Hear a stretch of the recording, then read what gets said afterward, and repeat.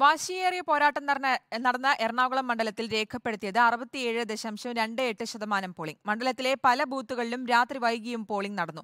പെട്ടിയിലായ വോട്ടുകളിൽ പൂർണ ആത്മവിശ്വാസത്തിലാണ് എറണാകുളത്തെ L D F U D F സ്ഥാനാർത്ഥികൾ.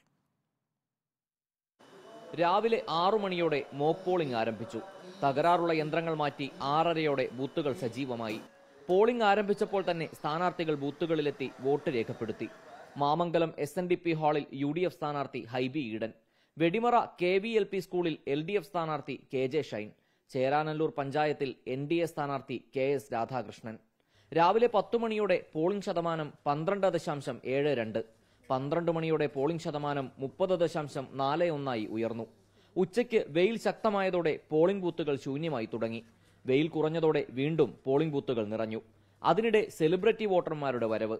പൊന്നുരുന്നി ക്രൈസ്റ്റ് കിങ് കോൺവെന്റ് സ്കൂളിൽ വോട്ട് ചെയ്യാനെത്തിയ മമ്മൂട്ടിയെ ഓൺലൈൻ മാധ്യമങ്ങൾ ഉൾപ്പെടെ വളഞ്ഞു. വൈകിട്ട് നാല് മണിയോടെ അൻപത്തി ദശാംശം ആറ് നാല് ശതമാനം പോളിംഗ് രേഖപ്പെടുത്തിയപ്പോൾ ഏറ്റവും കൂടുതൽ പോളിംഗ് രേഖപ്പെടുത്തിയത് പറവൂരിൽ.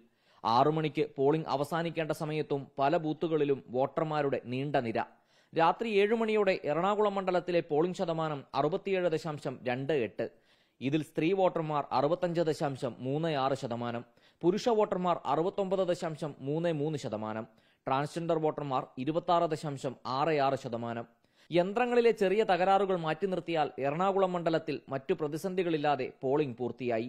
വോട്ട് രേഖപ്പെടുത്തിയ ശേഷം മണ്ഡലത്തിലെ വോട്ടർമാരെ കാണുമ്പോഴും സ്ഥാനാർത്ഥികൾക്ക് പൂർണ ആത്മവിശ്വാസം.